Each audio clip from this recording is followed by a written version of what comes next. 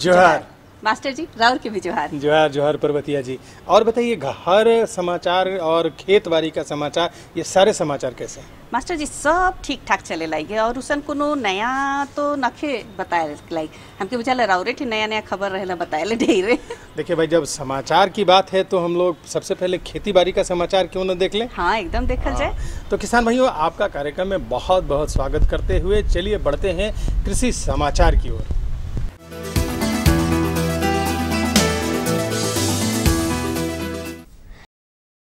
नमस्कार। कृषि समाचार में आपका स्वागत है। मैं हूँ संयुक्ता। आइए देखते हैं आज कृषि समाचार में क्या है खास। सामयिक कृषि को बढ़ावा देने के लिए चलाया जा रहा है एनएमएसए योजना। खेतों में नमी बरकरार रखने के लिए करे निकाई। दवा का छिड़काव बेहतर तरीके से करता है बैटरी चालित स्प्रेयर। राज्य में सामयिक कृषि प्रणाली को बढ़ावा देने के लिए कृषि निर्देशालय झारखंड एनएमएसए योजना चला रही है। इस योजना के अंतर्गत योग्य किसानों का चयन करके विभिन्न प्रकार के कृषि कार्यों के लिए अनुदान मुहैया कराया जाता है। एनएमएसए योजना, यह योजना कृषि निदेशालय झारखंड द्वारा चलाई जा रही है।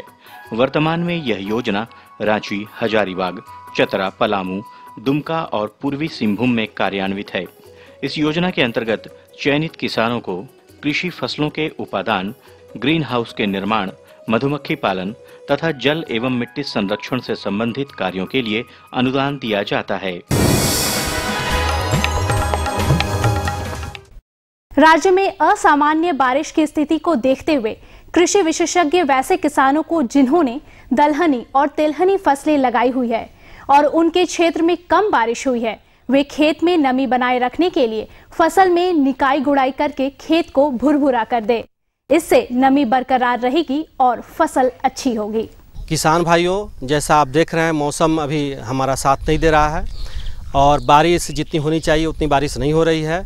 तो इसके लिए किसान भाइयों को सलाह है कि आप जब बारिश कम हो, खेत सूखा होने लगे तो दलहन और तेलहन की फ़सल जो लगाए हैं, उसमें निराई गुड़ाई करके खरपतवार निकाल दें और खेत को भुरभुरी रखें, जिससे नमी का, नमी संचित रहे और आपको बारिश लंबे समय तक नहीं भी होगा तो आपका फ़सल का नुकसान नहीं होगा।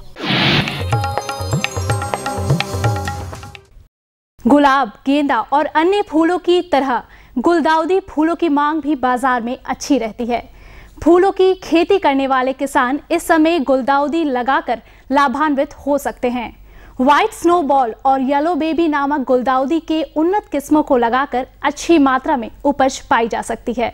किसान भाइयों, आपको सलाह दी जाती है कि अभी जो गुलदाउदी की जो पौधे हैं, इसकी तैयारी करने के लिए हम सबसे अच्छे snow ball white snow ball जिसे कहते हैं, इसे हम लगाएँ और इसके साथ साथ हम येलो बेबी नाम की जो जो वैरायटी है, उसको लगाएँ। ये दो वैरायटी जो हैं, वो बहुत ही अच्छे होते हैं और इसमें कीड़े भी कम लगते हैं और अच्छी तरह से ये आमदनी देती हैं। जिन किसान भाइयों ने मकई की फ़सल लगा रखी है, उन्हें इस समय फ़सल की विशेष रूप से देखभाल करने की आवश्यकता है। यदि मकई की पत्तियाँ लाल हो रही है तो संभवतः पोटेशियम सल्फ़र की कमी है। इससे उत्पादन में कमी आती है। यदि इस रोग के लक्षण आपके फ़सल में दिखे तो नियंत्रण के लिए क्या करें? आइए जानते हैं हमारे कृषि विशेषज्ञ से। किसान भाइयों अभी अगर आपके मकई के खेतों में पत्तियाँ लाल हो रही है तो आप उसमें पोटेशियम सल्फेट का एक प्रतिशत का घोल बनाकर स्प्रे करें जिससे कि आपकी पोटेशियम की जो कमी है थी, थी में आपके खेतों में वो पूरी हो जाएगी और आपकी फ़सल अच्छी रहेगी।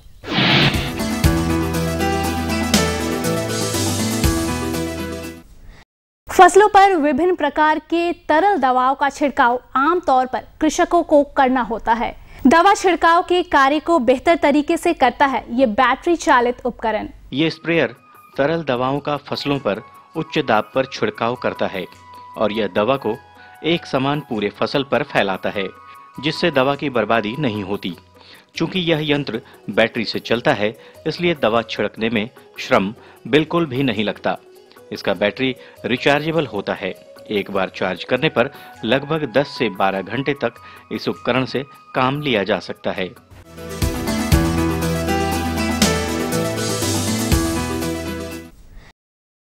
कृषि समाचार में अब बारी है सफल किसान से मिलने की। तो आइए मिलते हैं एक सफल किसान से और जानते हैं सफलता की मंजिल इन्होंने कैसे पाई। इन शख्स को अपनी मेहनत और अपनी खेती बाड़ी के तौर तरीकों पर पूरा भरोसा है। इसी आत्मविश्वास के दम पर वे सभी प्रकार की फ़सलों की बहुत अच्छी खेती करते हैं, जिसकी तारीफ़ उनके गाँव वाले ही नहीं, बल्कि दूसरे गाँव के लोग भी करते हैं। हम पहले धान, गेहूँ का खेती करते थे, खेत था। तीन, पहले बहुत सा बीज लगाना पड़ता था, एक मन, दो मन। अब जब हम लोग विज्ञान केंद्र में थोड़ा सा ट्रेनिंग लेने के बाद हमने खेती करने शुरू किए तो एक से दो के जी में अब बहुत, उससे दो गुना धान उपज होने लगा, गेहूँ भी। हमारे पास चार से पाँच एकड़ ज़मीन बजट भूमि की तरह रखा हुआ था। तो इसी तरह हम लोग करते उरते नहीं थे तो उसके बाद हमने एक दो साल से उसमें ओल का खेती करने लगे। और हम, इससे हमको अच्छा बेनिफिट हो रहा है। और अब एक नज़र राज्य के कुछ प्रमुख शहरों के मौसम के मिजाज पर। आज राज्य के कुछ प्रमुख शहरों के तापमान इस प्रकार दर्ज किए गए। रांची अधिकतम 28 डिग्री सेल्सियस और न्यूनतम 22 डिग्री सेल्सियस। देवघर अधिकतम 30 डिग्री सेल्सियस और न्यूनतम 23 डिग्री सेल्सियस। दुमका अधिकतम 31 डिग्री सेल्सियस और न्यूनतम 25 डिग्री सेल्सियस। गोड्डा अधिकतम 33 डिग्री सेल्सियस और न्यूनतम 25 डिग्री सेल्सियस। चाईबासा अधिकतम 31 डिग्री सेल्सियस और न्यूनतम 24 डिग्री सेल्सियस। और हजारीबाग का तापमान अधिकतम 29 डिग्री सेल्सियस और न्यूनतम 22 डिग्री सेल्सियस रहा।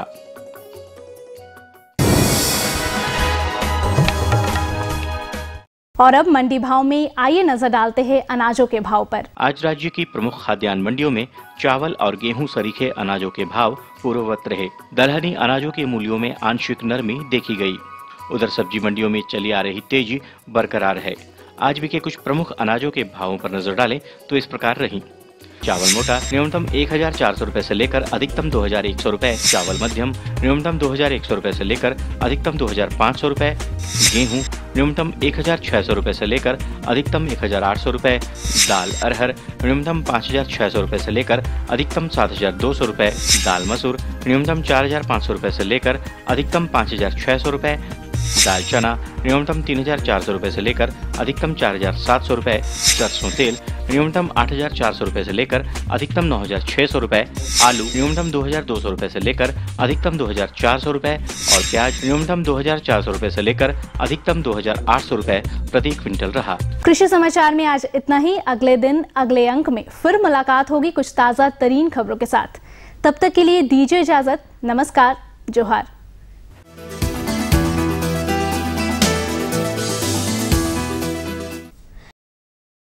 तो मास्टर जी जैसन कि हम कहली कि राउट ही नया नया खबर रहेला सुनाए ले तो रौरे तो एकदम खेती बाड़ी दे, भाई देखिए मेरे हाँ। पास तो सबसे पहले एक सवाल रहता है हाँ वो भी रहेला राउठिन और एकदम बड़ा ज़बरदस्त सवाल बन रहेला जेकर से हमरे के जानकारी बहुत बढ़िया मिल तो चलिए ना फिर आज भी हम अपने किसान भाइयों से और आपसे एक सवाल कर लेते हैं चलो हम्म? पूछ लो चलिए ये बताइए कि घाक पंडित कहते हैं कि रात करे घाप घूप हाँ। और दिन करे छाया हाँ तो क्या समझना चाहिए?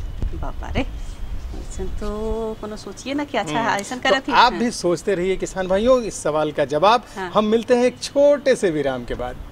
ये लो और बताओ। बस। अरे ये क्या भैया जी? बस इतनी सी रासायनिक खाद। किसानी छोड़ रहे हो क्या? किसानी नहीं नादानी छोड़ रहे हैं। मिट्टी की जाँच कराई है। अब तो लाला जी जितनी ज़रूरत है उतने ही उर्वरक खेत में डालेंगे हाँ। किसान भाई आज ही अपने ज़िले की नजदीकी भूमि परीक्षण प्रयोगशाला में मिट्टी की जाँच ज़रूर करवाएँ और मिट्टी में पोषक तत्व, नमी व पौधे के विकास को देखते हुए केवल ज़रूरत के अनुसार ही पोषक तत्व डालें। और हाँ मिट्टी में गंधक, जस्ता बोरोन जैसे सूक्ष्म पोषक तत्वों का पता लगाना भी न भूलें।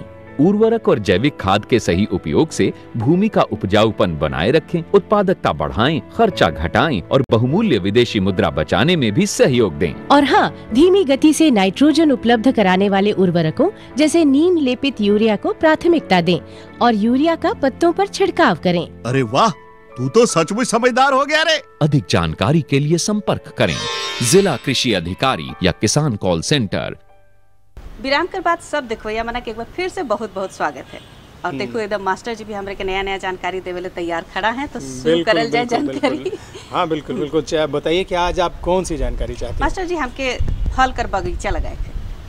बिल्कुल बहुत ही अच्छी बात नया है नया नया तो लगाए के और देखभाल मैंने सब जानकारी अरे अरे भाई तो। एकदम बहुत सही बात है। देखिए किसान भाइयों आप जानते हैं कि हमारे झारखंड की जो धरती है और यहाँ की जो जलवायु है ये खास करके फलदार पौधों के लिए और फलदार बाग के लिए बहुत ही उपयुक्त मानी जाती है।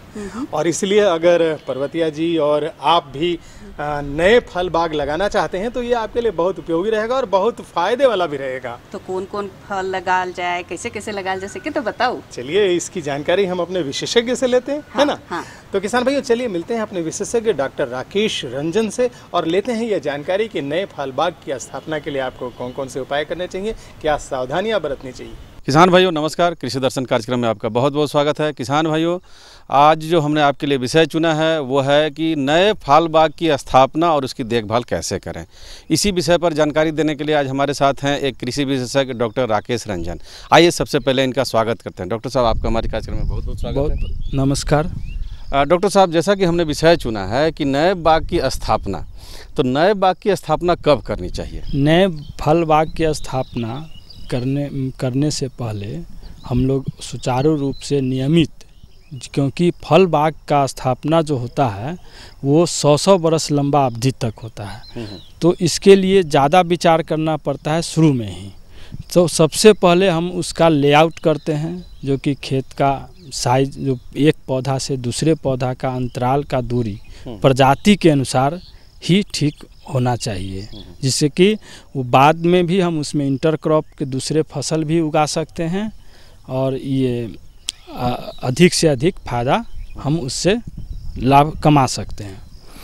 फल बाग की स्थापना के लिए सबसे पहले जो हम लोग चिन्हित गड्ढा करेंगे गड्ढा खोदेंगे। तो गड्ढा कम अप्रैल या ज़्यादा तो अच्छा होता है मार्च से ही नहीं तो मार्च अप्रैल में गड्ढा की खुदाई कर देंगे। गड्ढा खुदाई करने में भी कुछ ध्यान देने जोग बात है कि तीन फीट चौड़ा तीन फीट लंबा और तीन फीट गहरा गड्ढा की खुदाई करेंगे। गड्ढा की खुदाई आधा से डेढ़ फीट की मिट्टी को जो ऊपर का मिट्टी का सतह है ऊपर को एक साइड में रखेंगे और डेढ़ फीट से नीचे की मिट्टी को हम दूसरे साइड रखेंगे। और उसको फिर छितरा माने धूप लगने के लिए मिट्टी को थोड़ा दूर तक फैला देंगे जो अच्छा से ज़्यादा से ज़्यादा धूप लग सके। और उसमें जो भी हानिकारक कीड़े मकोड़े हो वो धूप से मर जाए। इसका यही सबसे बड़ा उद्देश्य है गड्ढा पहले खोदने का। जब पहले गड्ढा खोद देंगे तो फिर जैसे ही जून के लास्ट सप, जून के अंतिम सप्ताह में उस गड्ढा को भरेंगे। भरने के पहले जो उसमें खाद देना है खाद्य तत्व पोषक तत्व वो सब मिला करके जैसे करंज का खल्ली जो दीमक से बचाएगा गोबर का खाद और क्लोरोपायरीफॉस का पाउडर और ये DAP potash, muriate of potash, निश्चित मात्रा में उसमें मिला करके और फिर गड्ढा को भर देंगे। गड्ढा को भरने का विधि, जैसे नीचे का मिट्टी जो आया है, उसको नीचे रख देंगे और ऊपर का मिट्टी को ऊपर रख देंगे। डॉक्टर साहब अभी आपने बताया कि दीमक से बचने के लिए। तो हमारे झारखंड की जो अमली ज़मीन है वो पूरी के पूरी अम्लीय है। इससे हमारे किसान भाई कैसे निजात पाएँ? और ख़ास कर तक दीमक का भी प्रकोप बहुत ज़्यादा है। तो क्या करंज की खल्ली से दीमक की समस्या दूर हो सकती है? करंज की खल्ली से नियमित रूप से दूर हो सकती है। करंज की खल्ली हो या नीम की खल्ली कम से कम प्रति गड्ढा एक से दो किलो करंज का खल्ली या नीम का खल्ली हो उससे दीमक का प्रकोप उनका कम से कम दो से तीन साल तक उस गड्ढे में नहीं आएगा। और साथ साथ हम लोग क्लोरोपायरीफॉस का जो पाउडर होता है इमीडिएट एक्शन तुरंत एक्शन के लिए तो क्लोरोपायरीफॉस भी 50 ग्राम उस मिट्टी में मिला देते हैं जिससे कि दीमक और ये दूसरा कीड़ा उसमें नहीं आएगा। जब मिट्टी को भर देंगे जब गड्ढा गड्ढा को मिट्टी से जब भर देंगे जो पोषक तत्व मिला करके उसके बाद जैसे ही एक दो वर्षा होगी एक दो वर्षा के बाद फिर हम उसमें पौधा लगाएँगे। पौधा लगाने के समय में भी जो आपने बताया कि यहाँ का मिट्टी अम्लीय है चाहे कोई दीमक ज़्यादा लगता है तो उस समय पौधा लगाने के समय क्या करेंगे? एक तो पौधा हम लोग प्रमाणिक किसान भाई, प्रमाण, प्रमाणित पौधा खरीदे, जो आम का जैसे वेराइटी जो जिस वेराइटी का लगा रहे हैं, उसी प्रजाति का सही जगह, सही नर्सरी से ले। सही नर्सरी से लेने से ही उनको सही पौधा, सही प्रजाति उनको मिल पाएगा। और अलग से लेने से उसमें पौधा में जो नर्सरी पौधा जो रहता है, उसमें पोषक तत्व की कमी होने के कारण पौधा का मरने का चांस ज़्यादा रहता है। तो उसमें जब पौधा लगाने के समय क्या एक बैभिस्टिन का और क्लोरोपायरीफॉस का घोल बनाएँगे। और घोल बना करके बैभिस्टिन का घोल जो बनाएँगे, दो ग्राम पाउडर एक लीटर पानी में मिला करके घोल बना देंगे। उसके बाद दो एम एल क्लोरोपायरीफॉस जिसे रडार के नाम से जानते हैं किसान भाई, उसको भी पानी का घोल बना करके और जिस पौधा को लगाना है उस पौधा का पोलोथीन या बांधा हुआ है, बॉल जो बांधा हुआ रहता है, उसको हटा करके और उस घोल में डुबा करके फिर वो गड्ढा में डालेंगे। गड्ढा में डालने के बाद एक बात का ख्याल रखना बहुत ज़रूरी है कि गड्ढा को इस तरह भरे कि उसमें किसी भी तरह का एयर स्पेस ऊपर से मिट्टी को एरी से, पैर के एरी से, किसान भाई एक हाथ से पैर पकड़े और चारों तरफ़ से पैर के एरी से वो पेड़ को दबा दें। दबा देने से क्या होगा कि एयर स्पेस उसमें नहीं आएगा और जड़ उसमें ज़्यादातर विकास करेगा और गलेगा नहीं। उसके अब पेड़ लगाने के बाद, जब पेड़ लगा देंगे, पेड़ लगाने के बाद मिट्टी को चारों तरफ़ से ये कर देंगे और उसमें देखना होगा कि मिट्टी के सतह से 80 सेंटीमीटर तक के बीच में नीचे से जो पेड़ लगाए हैं उसमें से कोई टहनी नहीं निकले। उसको काट छाट कर देंगे। उसके बाद बरसात, जब ज़्यादा बरसा, बरसात के लिए पानी का निकास कर देंगे क्योंकि पानी नहीं जमना चाहिए। पानी जमने से सबसे बड़ा रोग जो पौधा का जड़ सलन गलन वाला जो रोग होता है, वो आ जाएगा। और ज़्यादा वर्षा अगर लगातार आठ दिन या दस दिन तक का वर्षा वर्षा होती है तो उसमें किसान भाई एक जो बैभिस्टिन का हमने पहले जो घोल बताया, उसका छिड़काव करें या मिट्टी में भी दें। घोल बनाने का भी तरीका हुई है कि दो ग्राम एक लीटर पानी के लिए घोल बना करके और उसका छिड़काव हर पंद्रह दिन के अंतराल पर करते रहें, जिसमें कि जड़ का सड़न गलन का रोग नहीं आएगा। दूसरा, जो दीमक से बचाने के लिए, एक तो जो हम लोग गड्ढा में पहले से ही नीम का खल्ली, करंज का खल्ली दिए हैं तो वो धीरे धीरे धीरे धीरे मिट्टी में मिलेगा, मिलते मिलते उसका इफ़ेक्ट दो से तीन साल तक रहेगा। लेकिन तुरंत उससे निजात उठाने के लिए तो क्लोरोपायरीफॉस राडार का ही घोल का छिड़काव उसमें करें। जब बरसात जैसे ही ख़त्म होता है, बरसात ख़त्म होने के बाद मिट्टी, उसमें भर्मी कंपोस्ट कम से कम एक पौधा में दो से तीन किलो भर्मी कंपोस्ट मिला करके और थोड़ा बड़ा नाली आकार बना करके उसमें गड्ढा क्यारी बना करके और जिससे कि अक्टूबर नवंबर के बाद वर्षा किसान भाई को नहीं मिलेगा तो पानी ज़्यादा से ज़्यादा पटाएँ। उसके बाद जैसे ही अक्टूबर नवंबर, दिसंबर में ठंडा से, ठंडा के स्कोप से भी फल बाग का जो फल का पौधा है, वो इफ़ेक्ट मैंने मरता है तो ठंड से बचाने के लिए तीन साइड से किसान भाई एक डंटा लगा करके ऊपर से पुआल का या पोलोथीन का ये शेड बना सकते हैं जिससे कि डायरेक्ट उस पर ठंडा का इसको असर नहीं पड़े। तो मास्टर जी तो बड़ा बढ़िया जानकारी मिल गया एकदम फल बाग लगाए ले हमके तो कोनो आप दिक्कत नहीं बुझाते हाँ भाई आपका जो वो हाँ टाण वाला जो हिस्सा है ज़मीन हाँ, का उस पे हाँ, आप तो एक फल बाग लगा ही डालिए। हाँ लगाइए देवो थी और एकदम बढ़िया फल लागे लागे तो कितना मज़ा नहीं। हाँ, तो चलिए फिर ये तो आपका हो गया काम लेकिन इसके बाद आपका और कौन सा है हाँ, जानकारी का नाम? हाँ मास्टर जी ऐसा है कि मुर्गी मन में बड़ा बीमारी लागे लगी है। तो हमके बुझाले जब मौसम का असर पड़त होगी तो देखभाल कर बारे में भी तनी जाने खोजत रही कि कैसे ओके धन बचाल जाए बहुत अच्छी बात है। किसान भाइयों अगर आपने मुर्गी पाल रखी है और खास करके व्यवसाय के लिए मुर्गी पाल रखी है जैसा कि आप जानते हैं कि कई मुर्गियों की ऐसी प्रजातियाँ भी आ गई हैं जो हमारे गाँव के किसान अपने घरों में भी जो देशी मुर्गियाँ हैं, उनका भी वैज्ञानिक विधि से पालन करते हैं। तो मुर्गियों में कौन कौन सी बीमारियाँ लगती हैं और इसके लिए कौन सी सावधानियाँ बरतनी चाहिए, इसकी अगर जानकारी होगी तो आप हर तरह के उत्पादन में इसका लाभ उठा सकते हैं। तो चलिए इसकी जानकारी लेते हैं अपने विशेषज्ञ डॉक्टर हिमांशु सिंह से।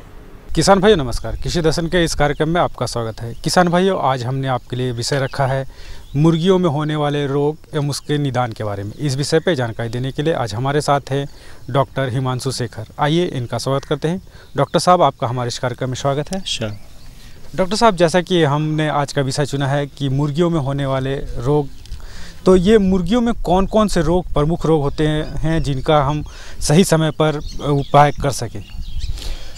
मुर्गियों में मुख्यतः तीन तरह की बीमारियाँ होती हैं जीवाणु जनित विषाणु जनित और जो हम फ़ीड रखते हैं फ़ीड में फंगस और अफ्लाटोक्सिन एक फ़ूड पॉइजन है, जो कि मुर्गियों में बरसात के समय में काफ़ी साधारण तौर पे बीमारियाँ उत्पन्न करने के कारक होते हैं।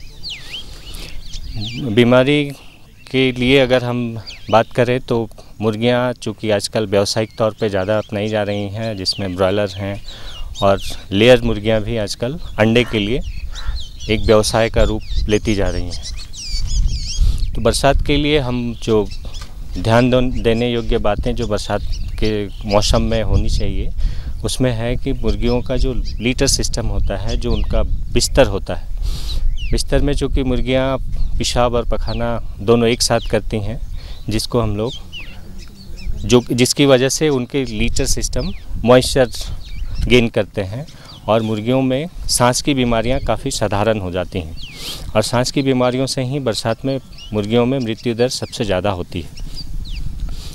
इसके लिए हम थोड़ी सावधानी अगर बरतें तो हम इससे निजात पा सकते हैं। जैसे बरसात के समय में अगर हम जो मुर्गियों के लिए बिस्तर लीटर सिस्टम जो होता है, उस लीटर के ऊपर अगर हम पेपर डाल दें और उसको हम रोज़ उस पेपर से मुर्गियाँ के स्क्रीटा को हटा करके फेंक दें जिससे कि मुर्गियों में मुर्गियाँ के बिस्तर में मॉइस्चर गेन ना करे और मुर्गियों में सांस की बीमारियाँ कम हों।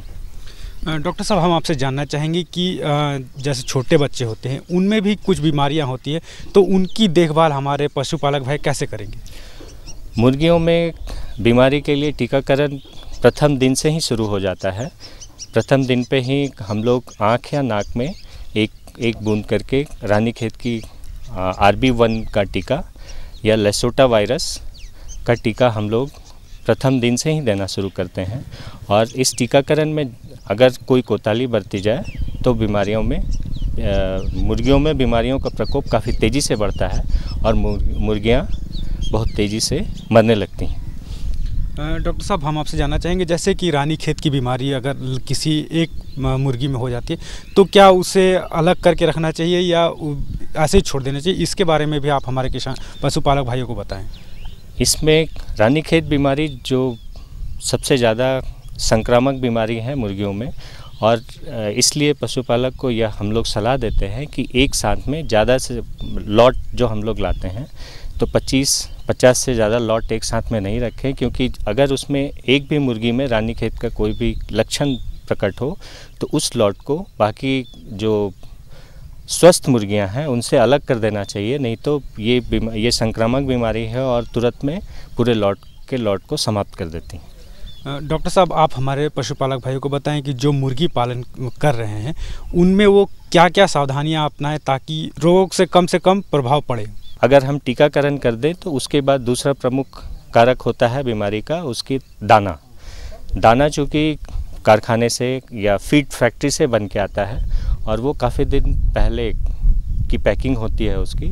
तो मुर्गियों के लिए जो भी हम दाना लाते हैं, उसको बढ़िया से धूप में समय समय पे धूप दिखलाकर, उसमें फंगल का जो ग्रोथ होता है, फंगस ग्रोथ को रोके, जिससे अफ्लाटॉक्सिन एक पॉइजन है, जो कि मुर्गियों में बीमारी का एक बहुत बड़ा कारक होता है। तो इसलिए अगर हम पशु मुर्गियों में टीकाकरण कर लेते हैं तो उसके बाद उसके दाना को धूप दिखलाकर उसमें फंगस के ग्रोथ और मॉइस्चर नहीं रहने देना चाहिए तब इससे मुर्गियों में मृत्यु दर घटा सकते हैं। डॉक्टर साहब चलते चलते आप हमारे पशुपालक भाइयों को और क्या सुझाव देंगे ताकि वो मुर्गियों में होने वाली बीमारियों से बचाव कर सके? मुर्गी को जिस घर में हम लोग पालते हैं, उसमें दो महीने से चार लॉट से ज़्यादा एक बार में, एक घर में नहीं रखना चाहिए मुर्गियों को और उसमें अगर दूसरे लॉट को लाते हैं तो उसके लिए हम पहले घर, उस मुर्गी खाने में ब्लीचिंग पाउडर का स्प्रे करें और दीवारों पे चूने का पुचाड़ा करवा के रखें, जिससे कि जो भी संक्रामक बीमारी है, वो एक लॉट से दूसरे लॉट में कैरी नहीं करे। डॉक्टर साहब, हम आपसे अभी जानना चाहेंगे, वर्तमान समय में हम देख रहे हैं कि न्यूज़पेपर वगैरह में आ रही है कि मुर्गियों को एंटीबायोटिक देकर बड़ा की जा रही है। तो ये कहाँ तक सही है और इसका क्या उपाय हो सकता है? इसके बारे में भी आप हमारे पशुपालक भाइयों को बताएँ। ये मुर्गियों में जो हम लोग एक प्रिवेंटिव डोज देते हैं एंटीबायोटिक का, और एक जब मुर्गियों में विषाणु जनित बीमारियाँ होती हैं तब हम एंटीबायोटिक का प्रयोग करते हैं। लेकिन एंटीबायोटिक का प्रयोग जब हम मुर्गियों में करते हैं तो उसकी उसका एक उसकी एक मात्रा होती है। मात्रा से ज़्यादा हम लोगों को उपयोग में नहीं लाना चाहिए। और मुर्गियों में जब हम एंटीबायोटिक का उपयोग करते हैं तो मुर्गी के शरीर में एक सप्ताह से चौदह दिन दो सप्ताह तक उसके शरीर में और मांस में एंटीबायोटिक का की मात्रा पाई जाती है। तो इसलिए इस एंटीबायोटिक के डोज को हम लोगों को उसकी जो मात्रा होती है उचित मात्रा वही उपयोग में लाना चाहिए और हमेशा मुर्गियों में एंटीबायोटिक का उपयोग नहीं करना चाहिए। चूँकि चूँकि मुर्गी आ, मुर्गी पालन अब एक व्यवसाय का रूप ले लिया है तो मुर्गी पालन का जो मुर्गियों का जो घर होता है उस घर में हर एक आदमी को अंदर जाने का परमिशन नहीं होना चाहिए और मुर्गी खाने में अंदर जाने के लिए आगे में एक बोरा, उसके दरवाजे पे एक बोरा जिसमें, जिसको भिंगाकर उसके ऊपर ब्लीचिंग पाउडर का स्प्रे करके रखना चाहिए कि हम कोई भी बीमारी एक मुर्गी खाने से दूसरे मुर्गी खाने में अंदर से बाहर नहीं ले जाएँ। इससे हम मुर्गियों के स्वस्थ रहने में सहायता कर सकते हैं। और रख रखाव के बारे में आप हमारे पशुपालक भाइयों को और क्या विशेष ध्यान देने की बात रख रखाव में है कि उसके दाना, मुर्गियाँ का जो, मुर्गियों का जो भी दाना होता है, उसको हम कोशिश करें अगर संभव हो पाए तो आज अगर हम मुर्गी के दाना को गर्म करते हैं, धूप दिखलाते हैं तो कल उस मुर्गी के दाना को खिला दें। और कोशिश करें कि एक सप्ताह के मुर्गी के दाने को हम धूप दिखलाकर, गर्म करके दो से तीन दिन तक धूप दिखलाकर उसको उससे होने वाली फंगल बीमारियों से हम बचाव कर सकते हैं। तो देखा किसान भाई डॉक्टर साहब ने कितनी अच्छी जानकारी दी मुर्गियों में होने वाले रोग एवं उसके निदान के बारे में। डॉक्टर साहब आप हमारे इस कार्यक्रम में इसके लिए आपका बहुत बहुत धन्यवाद। जी धन्यवाद। और इसी के साथ लेते हैं विदा। जोहार। तो मास्टर जी मुर्गी कर बीमारी कर बारे में भी उकर बचाव कर बारे में बढ़िया से जानकारी मिल गया और हमके बुझाला कि तो बताइए आपकी और कौन सी जानकारी है? हाँ नहीं नहीं नहीं, नहीं हाँ, लेकिन एक मिनट। हाँ, अब जानकारी से पहले आप मेरे सवाल का जवाब हाँ मास्टर जी का सवाल तो हमेशा हमारे लिए ऊपरे से पार हो जाए बुद्धि में नहीं घुसे का करो? तो मास्टर जी के बताए पड़ेला कि का जानकारी है का लगे भाई देखिए ये तो बहुत गलत बात है। आपको तो बिल्कुल कभी सोच समझ करके हमारे सवाल का जवाब देना चाहिए और हमारे किसान भाइयों को भी देना चाहिए। और हम चाहते हैं कि किसान भाइयों, आपके पास जो इस प्रकार की जानकारी है या आपकी समस्या और सुझाव है, उसे भी आप हमें ज़रूर बताएँ और इसके लिए ज़रूरी है कि आप हमारा पता नोट करें। हाँ हमें कर पता है, कार्यक्रम कृषि दर्शन, कृषि प्रकोष्ठ, द्वारा केंद्र निदेशक, दूरदर्शन केंद्र, रातू रोड, रांची। पिन संख्या आठ तीन चार शून्य शून्य एक। यह पता पर मास्टर जी कर सवाल कर जवाब चाहे अपन कोनो बात के हमरे के लिख भेजू बाकी एखन जे जे मन नहीं बुझे पाए रहे कि मास्टर जी का पूछा थे से कर ले मास्टर जी अपन जवाब बताए देबे। इसका मतलब आप मुझसे जवाब जाने बिना हमको छोड़ेंगे नहीं। हाँ, सही मास्टर तो किसान भाइयों देखिए गाग पंडित कहते हैं कि अगर रात करे घाप घूप और दिन करे छाया तो समझ लो अब बरसा गया। ये है कहने का मतलब। यानी अगर रात में बादल गरजते रहें और दिन भर बादल छाए रहें तो इसका मतलब समझना चाहिए कि अब बारिश नहीं होगी। तो ये थी मौसम के संबंध में घाघ पंडित की थोड़ी सी जानकारी ऐसे ही अनेक जानकारियाँ लेकर कृषि दर्शन के हर अंक में हम आपसे बराबर मिलते रहेंगे लेकिन अभी हमेरी पूरी टीम को दीजिए इजाज़त। जो है।